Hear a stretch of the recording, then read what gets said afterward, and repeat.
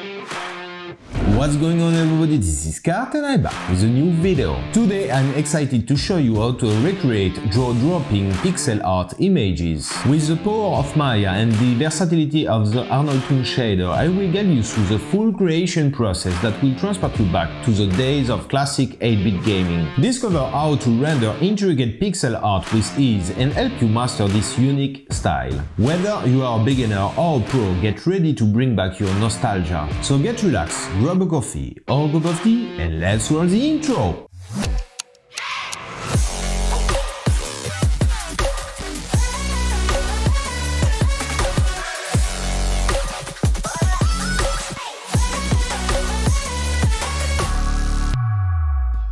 So guys, the first thing we need to make this 8-bit pixel art is an interesting model.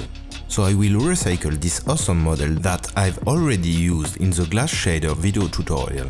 If you haven't seen it yet, check out the card in the upper right corner. Okay then I've set up a basic look dev scene with this badass model.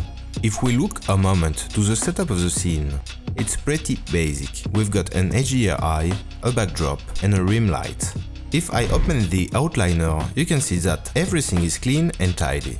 It's important to have everything well organized if you work in production with a team, so it's good to get into this habit early on. First off, let's create our main light.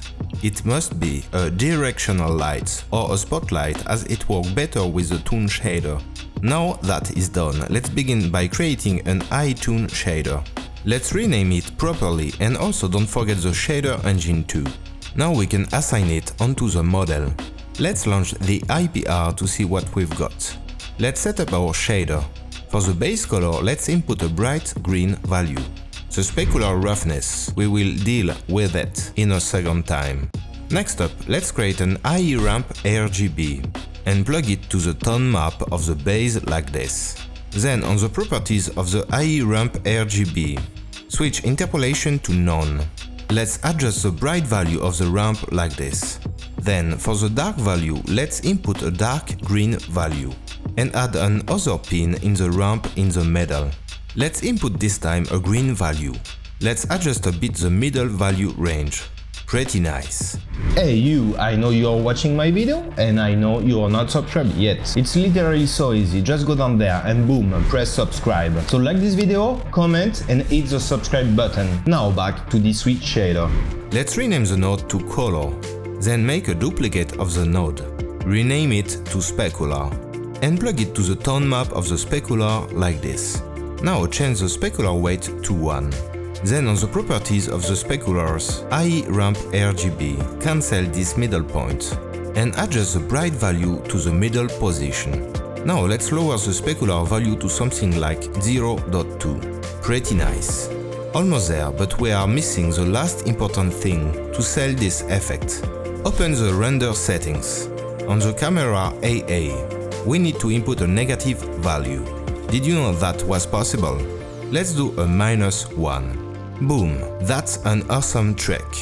Minus 3 to go really 8-bit style, or minus 2 to do an in-between style. Notice that it also depends on your final image resolution. As I'm in 2K, let's go for minus 1 for camera AA sample. Now let's switch just quickly in After Effects. I will show you how to remap quickly your colors in post. Search in the Effects, Tritone Effect add it to an adjustment layer. Now you have the possibility to remap the highlights, midtones and shadows. Click on midtones and change the color to a powerful red. Then do the same thing for the highlights with a pale red. A cool and easy trick. And boom, the final result. Really, really nice. What do you think guys?